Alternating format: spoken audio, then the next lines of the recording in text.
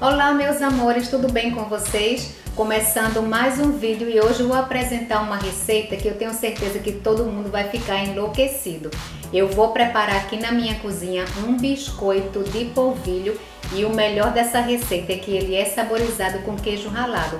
Gente, vocês vão amar e vocês vão fazer aí também, tenho certeza. Então vem pra cá comigo no modo de preparo. Agora vamos dar início a essa receita que é uma delícia. A primeira coisa que eu fiz aqui foi aquecer o meu forno a 180. E olha só, em um bol vamos colocar polvilho azedo e água quente e vamos misturar bem.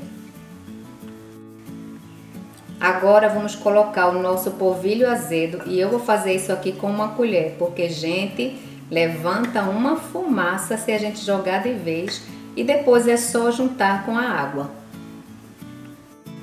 Agora vamos colocar nossa água que está bem quente e vamos começar a mexer bem com o garfo. Olha, sabe qual é a maravilha da gente fazer com o garfo?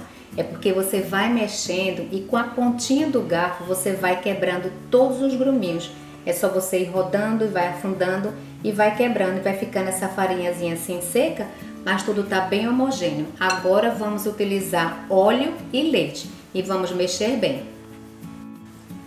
Agora vamos colocar aqui a nossa xícara de leite e vamos adicionar 3 quartos de óleo. E é só mexer bem. Vamos lá.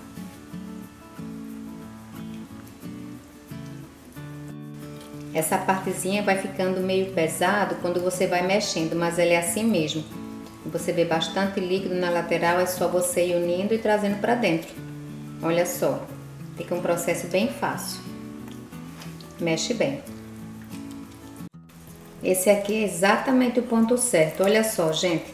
Você continua vendo na lateral um pouquinho do óleo, mas está bem homogêneo e bem misturado. Fica essa liga exatamente assim.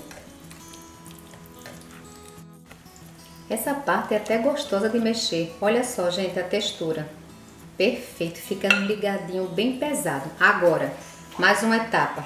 Uma pitada de sal, mas bem discreta, porque agora vem o carro-chefe da receita, que é o que vai dar bastante sabor.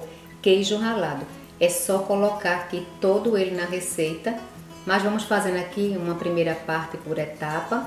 Deixa ele se aderir bem, ficar uma receita homogênea e depois vamos finalizar colocando o restante.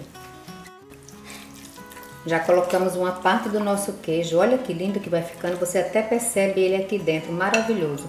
Agora já podemos colocar o restante do queijo e vamos mexer bem e essa etapa está quase pronta. Olha só, depois do queijo ralado, como é que fica? Vai ficando uma massinha pesada, bem consistente. E agora vamos adicionar dois ovos e continua mexendo e essa etapa da receita já está pronta. Receita pronta, gente. Olha que legal. Agora vamos colocar em um saquinho de confeiteiro aquele saquinho do supermercado, espremer e colocar em uma travessa de alumínio. Olha que delícia que isso aqui ficou. O cheirinho está uma delícia.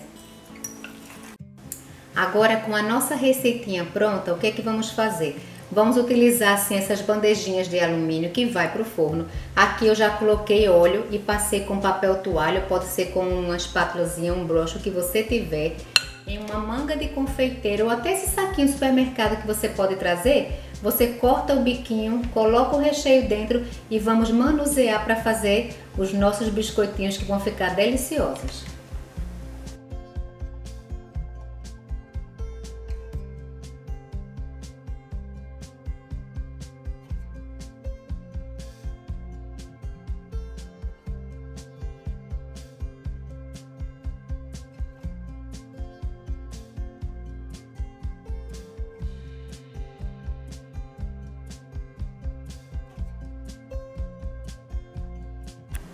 Essa receita rende muitas bandejas. Agora, o que é que eu vou fazer? Vou polvilhar um pouquinho de queijo ralado aqui por cima de cada um deles, só para dar uma corzinha mais douradinha na hora que sai do forno.